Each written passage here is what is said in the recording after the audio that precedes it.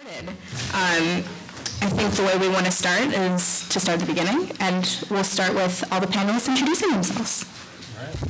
Hey y'all, I'm Chris Kindred. Um, I make nonfiction, uh, well, right now I'm making nonfiction comics um, generally about social issues. You can find a lot of that work over at the Nib um, uh, slash Chris dash Kindred. Anyway, um, yeah, uh, pronouns are he and his, and yeah, ready to start this panel. I'm Iasmin Omar Ata. I'm a comics artist and game designer, um, Middle Eastern and agender. So when you address me, please use they, them. Um, my work really focuses on coping with illness and understanding identity. Most recently, I have a book coming out, Mish Adra, which is about my experiences with epilepsy. Um, I'm Sloane Leong. Uh, I've worked in comics since I was like a teen. I'm working on a graphic novel right now called Map to the Sun that's about girls basketball. It's like slice of life. Um, yeah, that's that's me. um, I'm Tillie Walden. Uh, I'm a cartoonist from Austin, Texas. I have published a few books uh, with Avery Hill Publishing, a small publisher in London, and uh, I guess my other book just came out, uh, Spinning from First Second, a graphic memoir about my 12 years as a competitive figure skater. Um, and yes, uh, she, her pronouns. Thank you. And Sloane, which pronouns would you like? Uh, she, they, her. That's fine. Yeah. And hi guys, I'm J.A. Micheline. I'm a, I do lots of things. I'm a critic, I'm an editor, and I like to talk to people. So this is my first time moderating a panel, so hopefully I do okay. Um, and my pronouns are she, her. Um, so to open up to you guys, I think the first thing um, we want to talk about, and just in general for this panel, you were in an architecture page that's up there, just to make sure you're in the right place. And um, we wanted to talk about layouts, we wanted to talk about the emotions behind layouts, um, and some inspiration stuff. So we can start out with, um, you know, what's on what's on your guys' mind when you, you know, create your layouts, when you architect your pages. Um, what goes through your mind? What are the things that are important to you? What do you think about? You want to start? Oh yeah, sure. Um, uh, with my nonfiction work, well, I guess like where my head is at in comics now, um, I'm really attracted to fixed units that is more like uh, every panel would be the same size and um, just like looking to establish a rhythm through a grid so that way I can have a tighter control over um, the heavy emotional beats or whatever kinds of moments I might want to rhyme. Um, yeah, I don't know. I'm, I'm, thinking a lot about just like establishing rhythm. And also, I'm the type of cartoonist who will get really neurotic if you give me just like a page. So I have to have some structure in my life.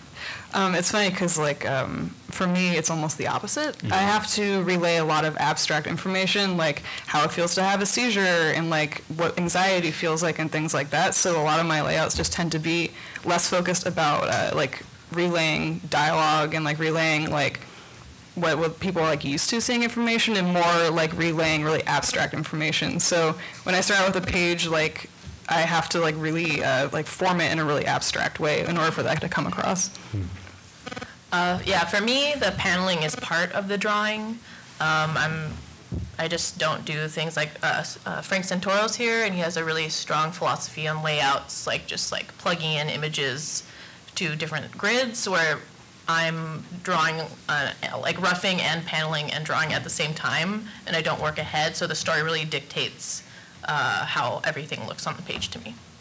Yeah, it's interesting. I feel like I'm kind of a combination of both of you because I, I am really drawn to grids. I love the order of it, but at the same time, I feel like a grid is kind of a living thing, and that even though it's something structured, it should respond to the content. And whenever I'm thinking about layouts, I'm thinking about the layout as as really like a reaction to what the content of that page. And so I've done, I've started to experiment more I'll have a grid and just, you know, the smallest thing where it'll shift just a little bit. You know, the, the one of the lines that goes through it will just curve, or as you know the action gets more intense, the grid will really start to kind of mix around. And I think because I'm so drawn to both grids and uh, more abstract type of layouts, I'm I'm searching for a balance between those two, and I think that's that's an interesting space to operate. Uh, yeah, I think the idea of a like panels is a living thing. I think is super cool. Actually, I never thought about it that way, and I think that more people should subscribe to that because I think a lot of the problem with comics is people don't think about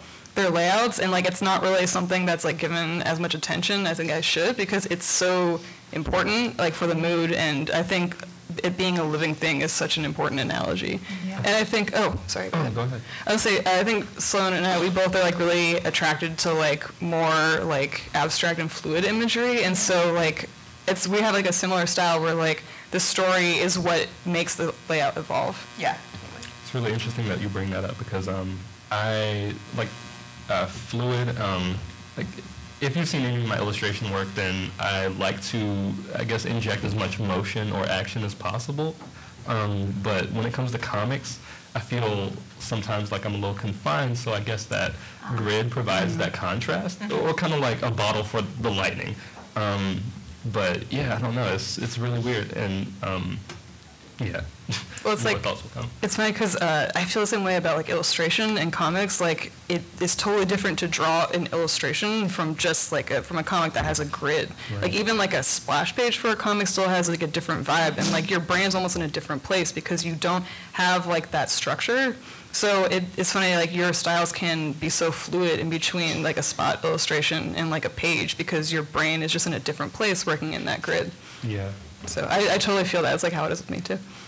I feel like fundamentally what, and tell me if you guys think about this too, but so much about layouts is just about thinking about the whole page and not just about the panels. And it's so easy to get hung up on like that dialogue in the third panel or that one face in the fifth panel. And you're just like, you can get really wrapped up in your own narrative and in your own, in your own story. And, and I think that can take away from your layouts. And when you stop and look back at your page as a whole, at the flow and how, how it relates to the page it's next to, or if it's a web comic, how it, how it flows on a scroll, every, you know, what your, what your format is and what your page is, how those work together, just thinking about that can do so much for it. Yeah, totally. Yeah, I think it's super important for it and like it's funny too because like uh, sometimes if you're like aware of that being a thing, you can also subvert it. Like one of my favorite manga artists, Hajime Ueda, who did the FLCL manga. If any of y'all are like Fooly Cooly fans, uh, he does this thing where like he'll have the entire pages like laid out for like some like random stuff, and then the most important information is like in the tiniest panel with the most dialogue. And like, it's like it's one of those things where like you can tell he's doing it on purpose to subvert it, and I think it's like a really interesting move, and that can only come from like the idea of really thinking about the page as like such an important part of it, and then just completely just crumpling up and throwing it away. So that's cool in and of itself, I Yeah. think. I think you guys, I mean, just riffing off of what um, you're saying, Iasmin, I'm interested in intention because you were pointing out that like this artist is doing something and it's obvious that they're doing it on purpose. And it seems like kind of the undercurrent of a lot of what you guys are talking about is creating layouts with intention. Um, and it, I think all four of you do that. Um, can you guys talk a little bit about intention and, and you know how it reflects in the work or maybe not? Sure, yeah. Um, uh, whenever I'm working on, say, uh, a more journalistic comic, um, objectivity in journalism is kind of bullshit, but um, but I can give the illusion of objectivity if I fix the most of these ca- uh, panels, most of these comics are scroll, so um, those fixed units really help a lot. Um, just those static panels. Um, kind of it, it relays information really matter of factly, so um, that helps a lot. I, when it comes to intention for my layouts, I'm always uh, thinking about the underlying emotion in a scene. And this is this is random, but it made me think of it. Some really good advice I got from a writer was that with every scene there should be an, an emotional change. And if you're working on a story, write out your scenes and say they're starting this scene feeling jealous and they end the scene feeling blank.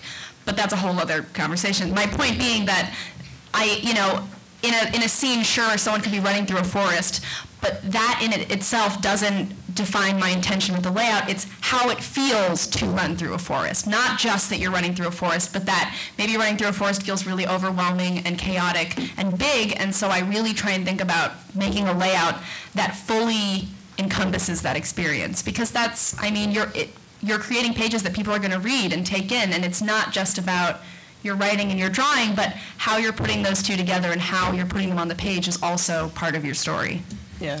Yeah, even like right now I'm working on like a basketball scene and I've really had to like open up the paneling so a lot of the panels will actually like stipple off into like nothingness. Yeah, it's very shoujo-esque. That's awesome. Um, and just like a lot of like harsh diagonals to like indicate like harsh movements and quick movements. And so, yeah, my story and like the emotions happening just dictate it like panel by panel for me. And then, um, yeah, I kind of like press it, compress it all into a page, you know. Um, but yeah, there's so many things that you can do. Like even the texture of your panel lines is another way to convey, you know, e- even just like a totally different timeline or to signal that it's like a flashback or.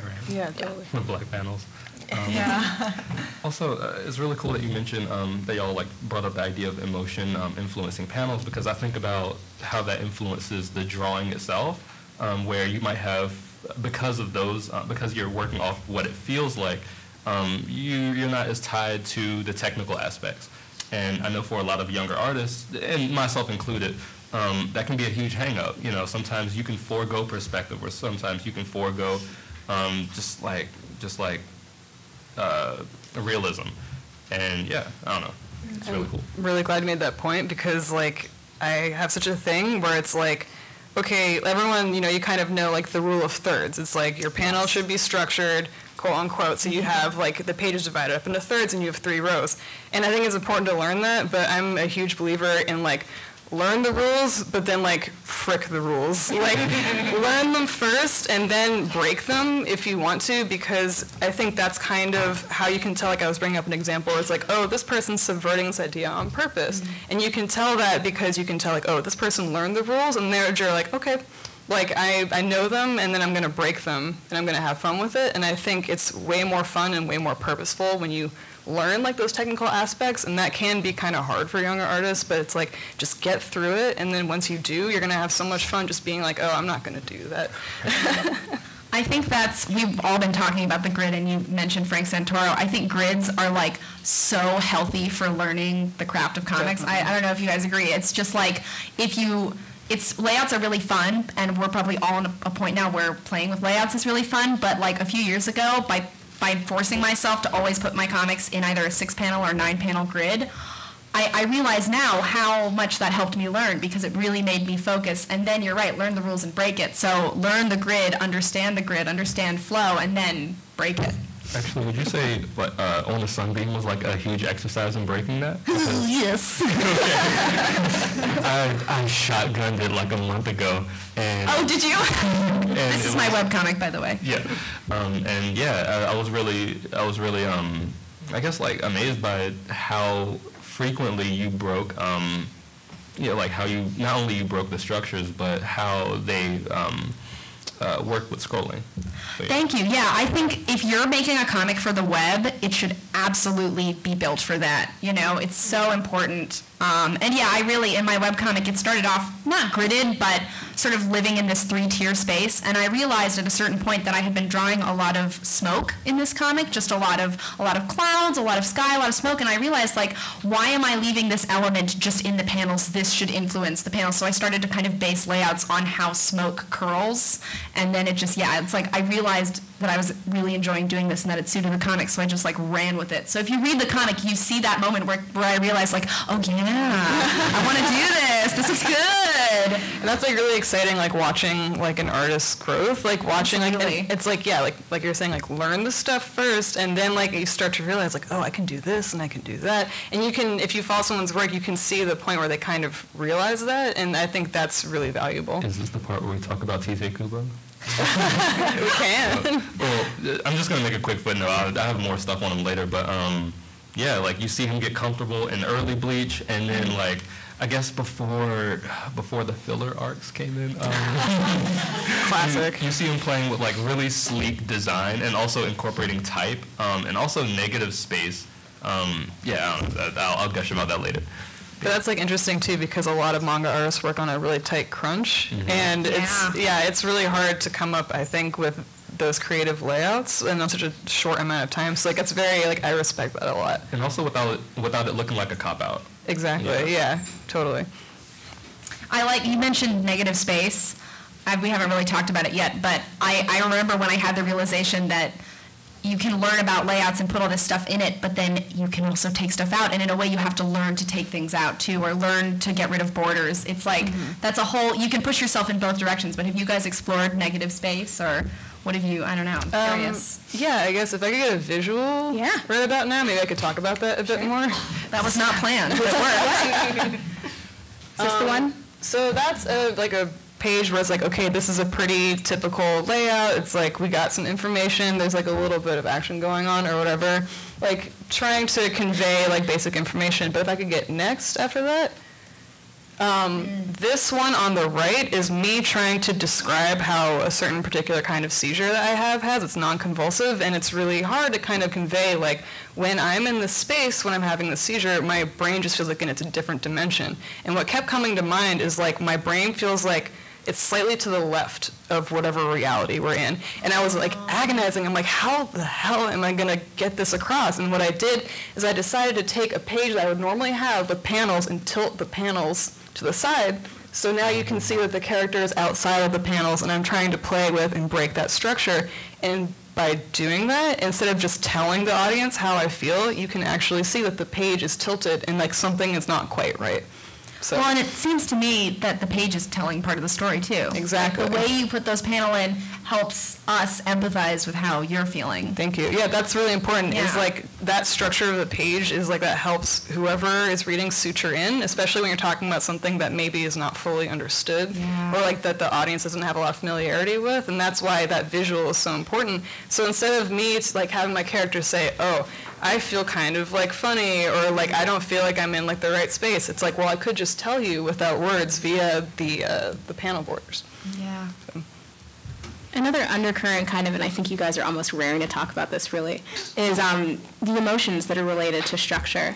Because we really talk about structure, um, I think colloquially, like outside of comics, just in the world, as it being like kind of this formal and unfriendly thing, as like a, a thing that's imposed upon people who want to be free and creative.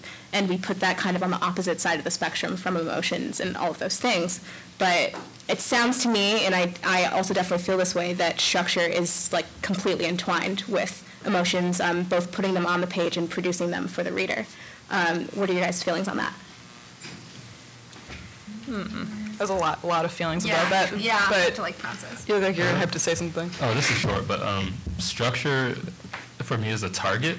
Um, I already mentioned this like earlier. It's a bottle for where the lightning goes, but like, um, it's so easy to get overwhelmed. Like any any younger artist, like you want to draw something, but you don't know exactly what to do, or you might want to make a certain type of mark, um, but you don't know um, you don't know your limitations, or you don't know how to follow up that mark. Structure just gives you um, a little guide, and that's that's kind of how I've been seeing it. I used to see it as this really um, uh, constrictive thing, but I don't know. It's one of those things that hey, uh, it's one of those things that um, helps keep me on track. Yeah, totally. I like just had this thought, so I'm going to be working this out as I talk to you guys. So let's hopefully I, I figure this out.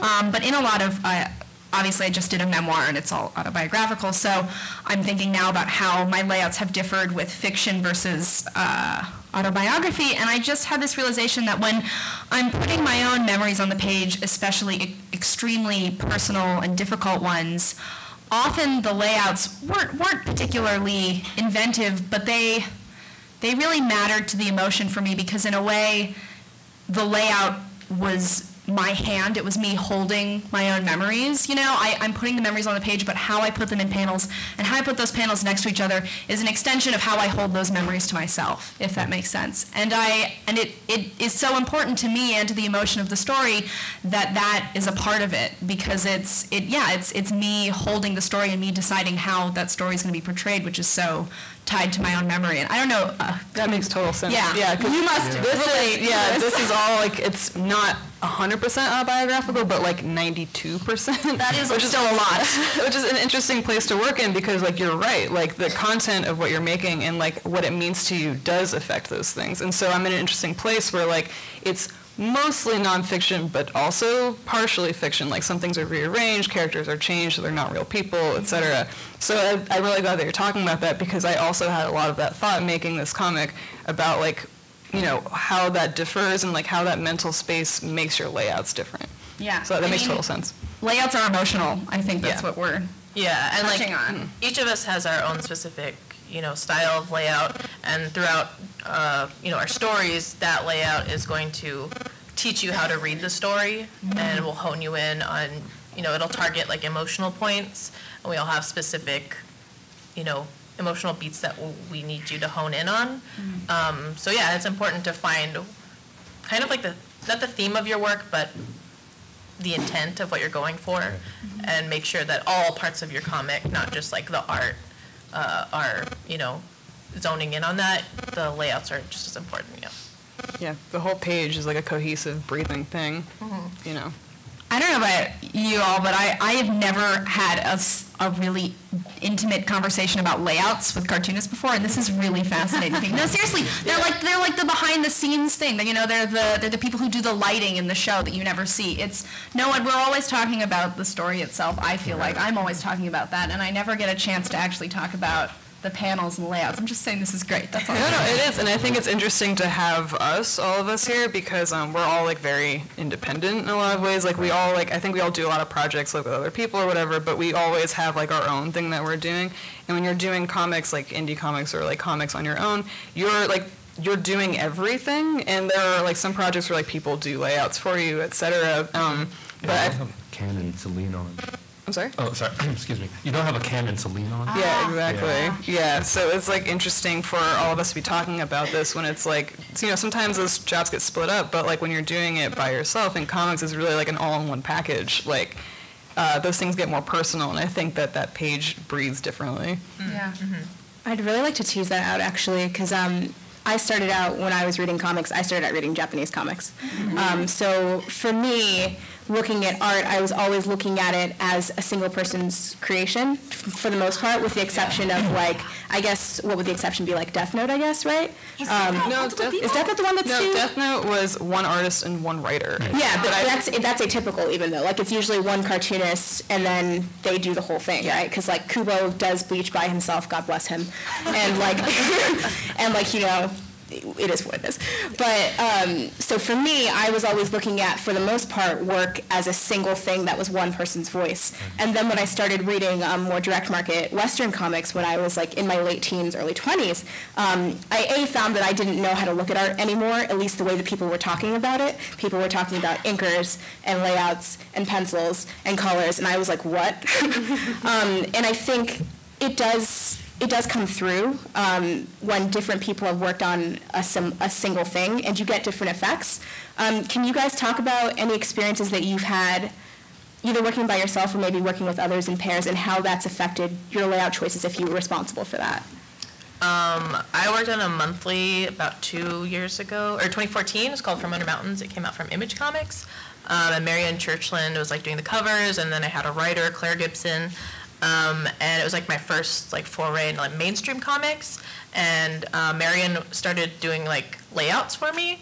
And if anyone's familiar with her work, she just has she has very pared down layouts, like three panels, two panels, and just like really beautiful like illustrious um, drawings. Um, for me, I don't draw like really as like elegantly as she does, and my I kind of favor like hard, dirty inks and like zoning in on like emotional beats. Um, and the way she paneled was like just like not how I panel. so when I was trying to plug my art into her layouts, it looked horrible. um, so I had to. She's like, okay, you know what? You, you just do like your own layouts, and it was way better. Yeah. but yeah. That's interesting. It just didn't work together. And that happens. Yeah. Yeah. Yeah. There's no really, there's no avoiding that. I think you know, it's always gonna, there's always gonna be an experience where it's like, you know, you've, we're all talking about our different styles of layouts here, and it's like, you know, I guess I haven't worked with enough people to know that. Yeah, and it's kind of weird for me because I I almost resist, not not willingly, but um I guess my approach kind of resists um people suggesting layout, or maybe not suggesting layouts. I'm open to suggestions, but like if someone writes for me and they give me uh they give me like panels to draw, I'll always find a way to draw that more either more economically or like um, either more economically or completely differently. Um, I don't know. I've always been kind of resistant to that. So Is that, do you feel like you need to like put yourself into your layouts? Is that, I mean, I wonder where that instinct comes from. it's like the best way I can describe it is when a cat like starts needing a surface to lay Yes. on. Making so biscuits. some stuff is gonna get rearranged. So yeah, before I can get comfortable. That's cute. Um, yeah, I don't know how like colors play into layout that much. It's probably maybe too into the art side of things, but that can really Matter though. Yeah. Oh no, they matter a lot. Um, those control pacing. It can totally jack up your layouts. Like you may have like paneled something in a way that like hones in on one beat that's like in the first panel, and then the way that it's colored is just like oh my focus is going down to the bottom right corner. Yeah. Complete opposite. So yeah. I'm really OCD about like, say I have a page and it's all blue and I have a yellow accent color. That sounds a lot like on a sunbeam. Um, if I put yellow as an accent in the upper right-hand corner, I have to also put it in the lower left-hand corner to balance it out. Like I imagine my page often as like a weight of, of like a scale with two sides, and if I put it here, it has to be somewhere on the other side, or it just feels unbalanced. But then sometimes you want like the Maybe reader that's to, you want the reader to feel unbalanced. So I guess it goes Yeah. both ways. Yeah, I think like a, an interesting like basic tenet of layout and color and ink col- kind of working together is like um, like a very like comics 101 thing is like solid blacks will lead the eye. Yes. So if you have a lot of solid blacks uh, like in your backgrounds or in your characters or whatever, like that is where the eye is going to go, and that helps you lay out the page while also considering uh, the drawings at the same time and kind of making it a cohesive thing. Right. yeah. Chris, I know you had some comics that you wanted to talk about a little bit.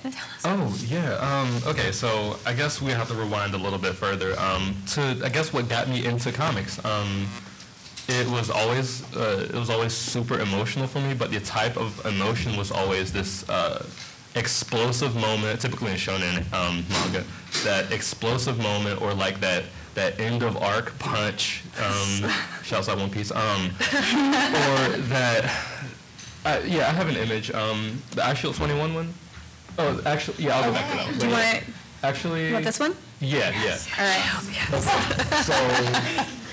So, So good. yeah. So um, good. Just like I gotta get up for this one. Um, So just be careful because the mic is the only way that people can hear you f- if we take the video. Okay. So Can y'all hear me? All right. Sorry. So yeah, just looking at the way, like, okay, this is how I learned comics by reading stuff like this and watching how, uh, paying attention how I experienced uh, the eye being led, and also how the camera might be distorted on a panel. Um, it, it really, it really taught me to get loose, and yeah, I, I've kind of been chasing feelings like that since I got into comics. So yeah. Yeah, I feel like getting loose is like a really important thing. You have to learn it. You know, it's a really strange, but like you really have to learn how to unwind. And I think this particular artist who does Eyeshield and One Punch Man is like a really good example because not only does he like loosen up with his layouts, he also takes lettering into account. I think this page is a oh, great example where he just he leads the layout with the lettering, and there are certain parts I think in One Punch Man where he tilts the lettering as well and tilts it with the layout. So he's always playing with that kind of stuff. Well, look at the rumble. The rumble's like leading you down. yeah, it's really cool. I, uh, I, I, I mean, obviously, I think most of us here have been influenced by manga. That's that's not a stretch to say that. Um, and I, I, I do think that because I read manga at a young age, I always sort of deep down knew that layouts could be played with. Like you, st- we, I still had to go through a process of learning to do that myself. But because what influenced me, I saw stuff like this. I always knew that there was potential in layouts. But I think sometimes people who maybe grow up with more Western comics maybe don't see this as much. Yeah. It's interesting that you bring. Okay, sorry. Um, it's interesting that you bring up that effect because um, it's like it's like if you start off seeing someone do the hardest thing, you think that that's the standard.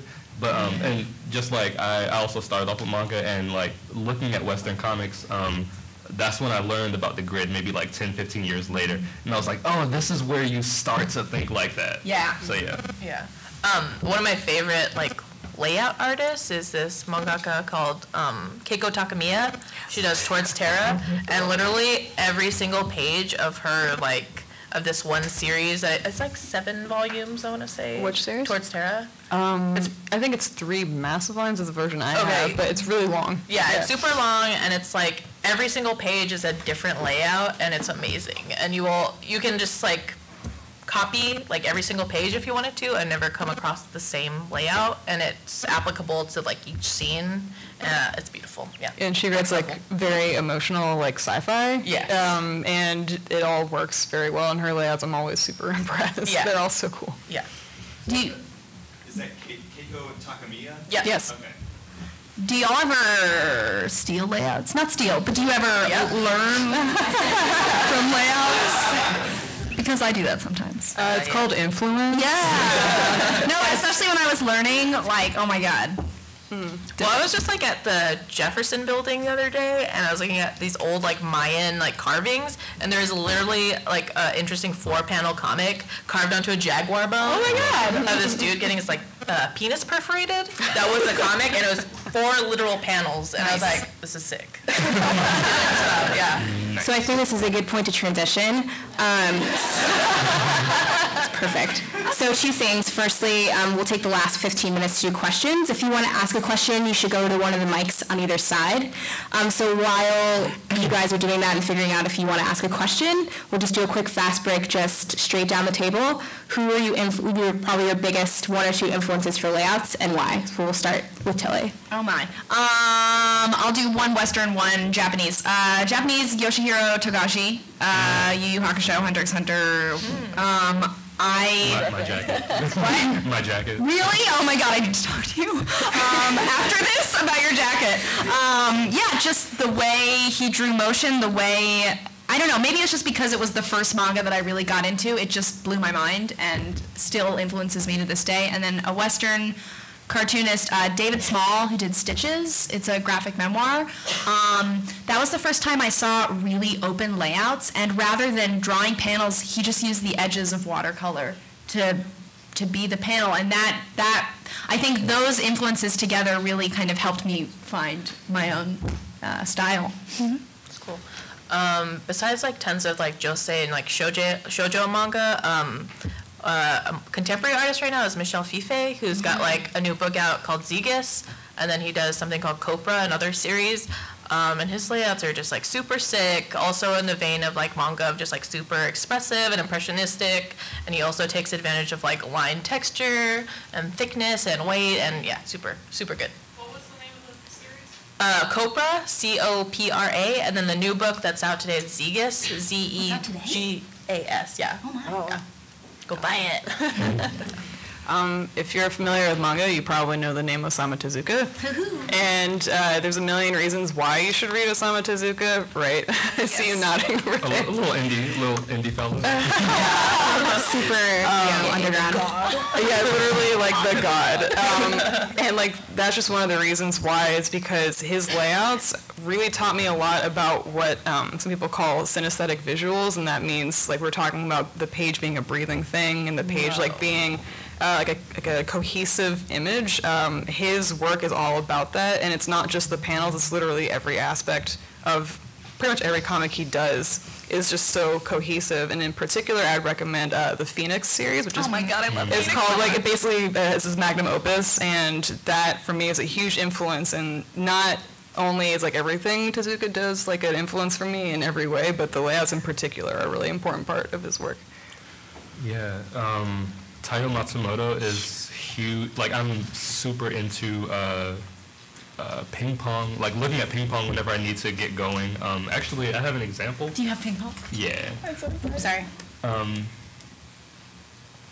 there we go. Yeah, seriously. Um, so yeah, uh, Taiyo Matsumoto, uh, he the way he plays with layouts obviously is like super emotional, super kinetic. Um, everything, a lot of things that I want to do, um, I guess like shooting off of him would be um, Bastien Vives, Vi- Vive, Vive. Yeah, he does Last Man. Um, uh, he's also really like heavily inspired by um, Matsumoto, and you can see. Well, you can you can kind of see the Yeah, no, it makes sense. I just never knew that. Yeah, um, and let's see, uh, what else? Um, I guess as far as like Western artists go, I like, I've been reading Don't Come in Here by Patrick Kyle. Um, you might be able to find it here today. Um, but he, a lot of the comic is just like one, two, like two panels per page. And it's like super long, but it's also a really smooth read. It actually, in a lot of ways, feels like you're reading a Shonen Jump or something. Um, but th- like that's not the story. But uh, he does such a great job establishing uh, rhythm and uh, stuff like that. I kind of pay attention to. It's like reading comics on a grid. Um, kind of feels like beat making, where like you, you want to lay down your percussions before you like freestyle. So yeah, that's where I'm at. Questions from the audience? You got one taker at least, good. Don't be shy. First one, always very brave. Yeah, absolutely. Uh, Hi, wow, that's long. Okay, hi, uh, Chris, you said something a couple of times that I'd I'd like to hear more about. So we've heard a lot about how layouts can, in like um, more abstract or relaxed or open layouts can communicate an emotion. But at the beginning, you said that you find a freedom to control emotion in the grid. And then you just talked about the grid being like the beat for you to freestyle on top of. So I was wondering if you could talk more about how you how you use the grid to fine tune and control that emotion. Oh, sure. Um, let's see. Okay, so uh, I took Frank Santoro's comics correspondence course a couple years ago, and um, I think the biggest takeaway from that course was thinking of comics like he he put it like think of comics like jazz. You know, you want to keep your beat um, and use the grid as a metronome, and so in doing that, I know where I want my um, where I want my uh, emotional impact or where I want my beat to exist on the page. Um, so say if uh, I have a six panel grid, uh, the third panel might be where I want to uh, put a beat or like have a special moment or a change in scene or emotion. Or, um, yeah, pretty much. Yeah, um, it's, it's a lot simpler than it sounds. And um, also, I don't know much about music, which is I don't know. Uh, it's really weird that I bring up like a jazz analogy and I know nothing about music, but it makes sense to me. so yeah, it's like keeping count, um, using the grid, and um, knowing, like using those beats to lay down your moments, and then you kind of build from there, like kind of flesh it out from there, in between those beats. I do like a lot of like inset panels and like I did a page recently for the sci-fi comic and it was just like three three tiers of just one panel each and then I did like a whole a little inset panel on the side that was basically just like a whole nother page that had like eight panels in it. And there's like a tiny there's like a sequence going on like kind of like off the scene but that it was still crucial for you to see that happening. So I don't know. It's kind of hard. It, I I do like like a musical analogy because it is very about rhythm, but also it's just it's so much its own thing. It's very hard to like find the perfect like comparison. So yeah. Like it's a mixture between intuition and emotion, but also like there's a weird logic to it. And Yeah. yeah, comics is an instrument. Yeah. I always think about with the grid that one of the biggest powers of it is using a grid. You know, you use a grid for t- 10 pages and you don't change it at all and it establishes kind of this baseline and then on the last page you change it. And that, that is always, that always causes an emotional reaction, not only because maybe something's happening in your story, but just as human beings, if we like get used to something, we're like, oh, this is so nice and comforting, and then you change it, and it's like, ah, you know, you don't know what to do. There's my stability. Yeah, no, exactly. It's it's about stability. Um, so I, I think about that with the grid. I'm wondering uh, if you can talk about how you as individual artists approach borders on panels. Uh, like, for instance, I notice in, in this example, there's a little thin amount of white space in between each of the borders. Um, doing that versus filling that space in, or, um, or for instance, in the top right panel, having the striated lines on the top and bottom. Um, how do you make those choices when you're drawing? Uh, manga has a pretty like solid rule of like uh, horizontal lines um, should be horizontal. Uh, should be a little bit wider, and then vertical lines are skinnier. Um, and but that depends because sometimes I want like a fat gap between horizontal stuff if I need I don't know for just like weird narrative reasons. so it just kind of depends on like the movement and like the speed of your story and Yeah, compression yeah. and all that. I, I learned uh, that basically the space in between uh, the panels horizontally can convey time, and so the longer or like the, uh, I'm sorry. Like this way? Yeah. Oh, so if you have space uh, in between your rows of panels, that helps convey longer beats of time. The closer they are together, um, it doesn't always have to be this way, but it tends to generally uh, help the reader think, oh, some time has passed. So I think we're like kind of on the same the same page Yeah. with that. I've never heard that, but that's awesome. Any more questions? You got one over here? I really never seen the, uh, the Phoenix series get reprinted again, so we can get a hold of it. God. too. Yeah. But, Um, I had a question, Ken, if you were talking about grids and how that kind of restricts, um, that really restricts and focuses your vision kind of within comics. Do you all have any, like, when you're starting out on a blank piece of paper, do you have any parameters or restrictions that you kind of put on your own layouts personally that you kind of have like as a starting point, you sort of like quirks, like number of panels per page? I don't know, I just kind of, you know, kind of throwing it out there, just kind of where a starting point of any sort of like personal parameters you might put on yourself when it comes to layouts. Um, I've been doing this late. I've been doing this lately, where um, I would give myself a set number of panels, and even if I end up like bucking the entire grid for a comic, um, I would want to start with something just so I can get images down. Either that, or I'll just like draw on separate um, index cards, and then kind of figure out where they all go after I establish something. But I, I think um, starting out, I would adhere to structure just so I can start drawing. Um, I think that everyone's different. I think my answer to that question would be no.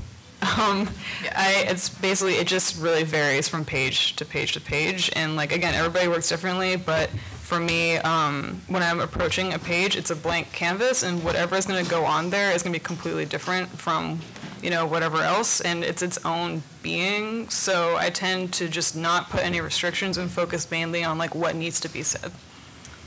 Yeah, I feel the same way. Yeah. I uh, actually in the past have really struggled with picking layouts because sometimes it's felt so vast that I, I like, you know, a, a lot of people thumbnail their comics before they draw them, and so you're like drawing it in a tiny version to try and figure out what it's going to look like. And I, I've always struggled with that process, and I found this very bizarre method to pick layouts, and it's that I will thumbnail a comic and pick completely random layouts that have nothing to do with my story and then try and force the story into that and then when I realize it doesn't fit, I change it. And so by giving myself, you know, like two panels on the top, three in the middle and two on the bottom, I'll like try drawing a page like that and I'm like, "Oh, well this doesn't work at all. I need a bigger panel here. I need this there." And that's how I find my layout. But I find starting with a blank page is often a little overwhelming because it's so blank and there's so many possibilities. And so by giving myself, it's as if someone, it's as if someone is sending me layouts and I'm saying, I disagree with this, but I have to do it myself. You need to, you need to, you need to be your own like harsh editor. Yeah. Yeah.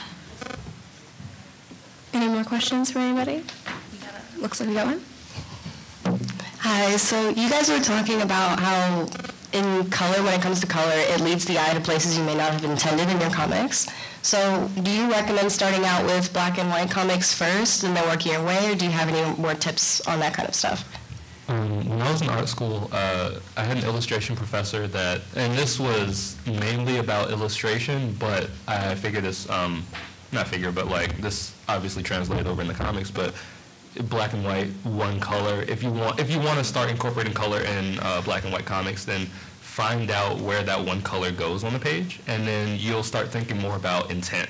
And then um, once you once you figure that out, you'll start um, learning about how you can keep that uh, focal, yeah, keep that focal color, and then like continue to build color around it. So that that's helped out a bunch. Yeah, I think starting with black and white is good, and I actually favor black and white comics despite being a colorist for a long time and like using crazy colors. Uh, it's just easier to learn about clarity and composition through black and white. Um, and then once you add color, it's the same thing about comp- composition, but there's also like uh, just like a emotional element to colors that will play with your perception, um, like putting like purple and orange side by side um, almost makes it vibrate to the eye. So there's a lot of other weird elements that you kind of have to take into account. So if you're starting out, yeah, black and white is probably great to learn, but don't be afraid of color.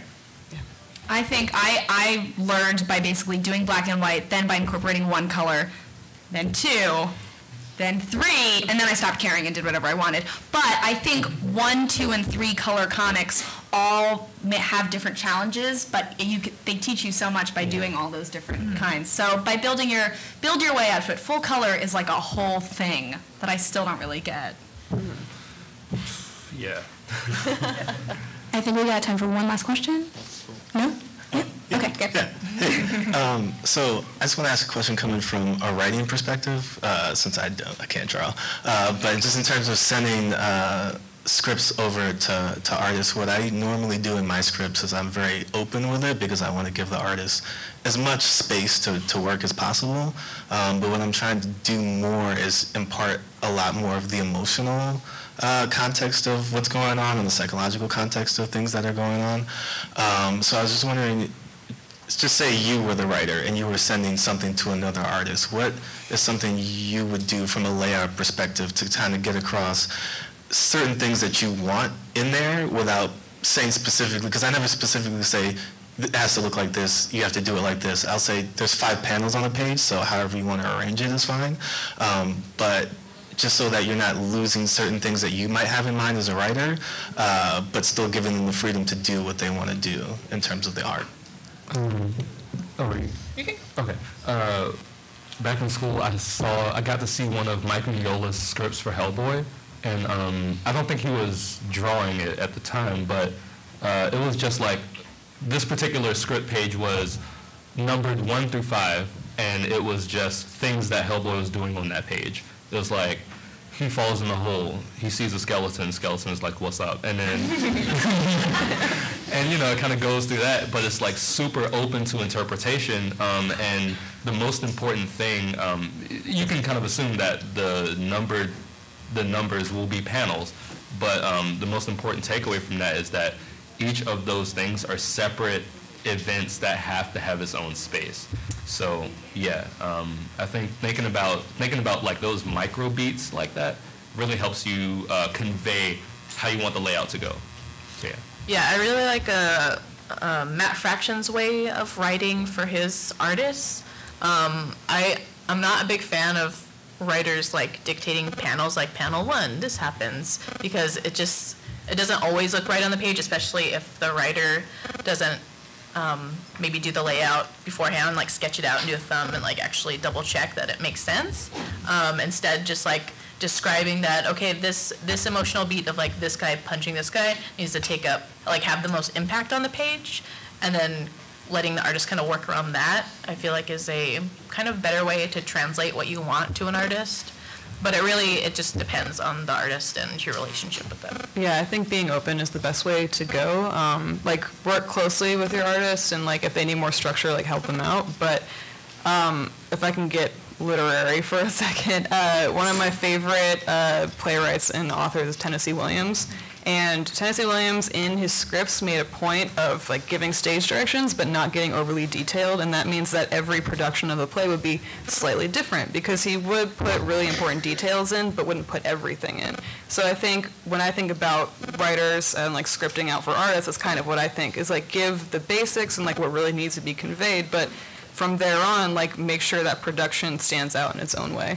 Yeah, and like I don't know. I feel like when you work with an artist, you just want them to do them and do what they're good at, and just like giving them the freedom to do that. Because I know when I have done scripts with like the layout pretty like ironed out and finished, and that's what they want, I'm just like, okay, I'm just like plugging in these images, and it kind of like takes away from like the pleasure of doing it and kind of like the life of it. Right. Um, so that's just my experience, but yeah. Or you could go on the exact opposite. Have, has anyone read Bakuman here? Um, Yeah. So yeah, the writer the writer would actually draw um, a really crude version of the comic, and um, yes, and, and like work with the artist directly, and then the artist will figure out that. Um, so don't be afraid to like get your hands dirty and draw. Like you might not be able, you might not have the same training, but you still have the taste. You still have like the ability to draw borders. So yeah. All right, I think that's it. I want to thank all the panelists um, for coming and joining us.